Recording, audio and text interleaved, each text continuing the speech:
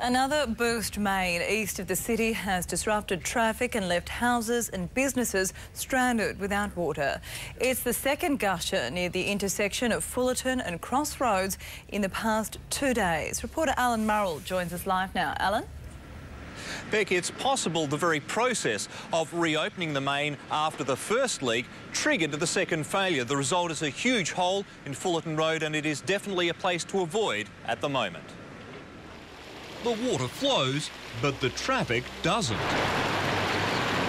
Rush hour reduced to a crawl as Fullarton Road is transformed into a river near the Cross Road intersection. Oh, every day this road is blocked up. I've had this happen so many times.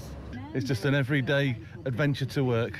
Nearby homes threatened after water erupted through the bitumen just before 6 this morning. We're certainly coming up over the curb, so I don't think the drains are really coping with it. Crews had just repaired another split only 10 metres further along the 83-year-old main. It happens quite often around this area. Got to spend money on maintenance and do it up. It's no good waiting till it always just falls apart.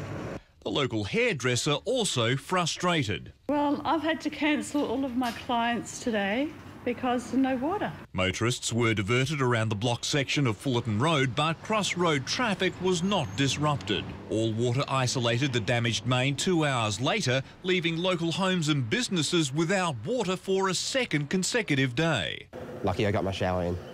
The Water Minister left it to SA Water to explain that despite a series of major mains bursts, its network is not decaying bursts uh, are less this year in the metropolitan area than they have been previously. They are on decline. SA Water says most of its network is less than 50 years old. Well, the water was restored to almost all of the houses by mid-afternoon, but the traffic disruptions certainly are continuing. There's just one lane that has been opened now at the moment. That's for southbound traffic on Fullarton Road. Uh, the headaches won't be over tomorrow. It'll be just one lane inbound tomorrow morning and traffic flow not likely to be restored to normal on Fullarton Road until mid to late afternoon. Rebecca?